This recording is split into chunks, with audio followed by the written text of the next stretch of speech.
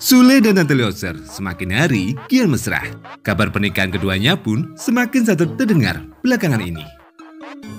Melihat hubungan Sule dan Natalie, Rizky Febian, putra sulung Sule, mengaku senang. Ia bersyukur bisa melihat sang ayah menemukan tabatan hati baru. Yang pastinya Alhamdulillah aku senang banget. Sebagai anak pertama aku berusaha membimbing adik-adik aku. Memberi pengertian kondisi selama ini. Ujar Rizky Febian. Yang terpenting untuk saat ini, berusaha membahagiakan kedua orang tua kan?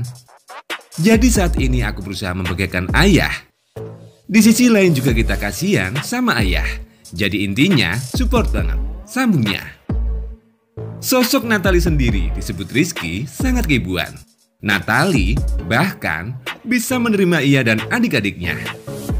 Aku melihat ada satu hal dari Ate tuh. Bisa deket dengan kita-kita, menerima kita. Pastinya bisa pengertian sama ayah, Papa Rizky Bebian. Kehadiran Natali pun semakin spesial lantaran wanita itu bisa membuat ayahnya kembali tersenyum. Diceritakan oleh Rizky semenjak mendiang ibundanya, Lina Jubaidah tutup usia, Sule selalu tampak murung. Terbukti, baru-baru ini Sule dapat kejutan manis dari anak-anaknya. Ditemani Natalie Holzer di salah satu stasiun televisi. Sule yang tak mengetahui rencana tersebut tanpa kaget bahagia. Momen bahagia itu diberikan Natali hingga Rizky Webian di instastorynya.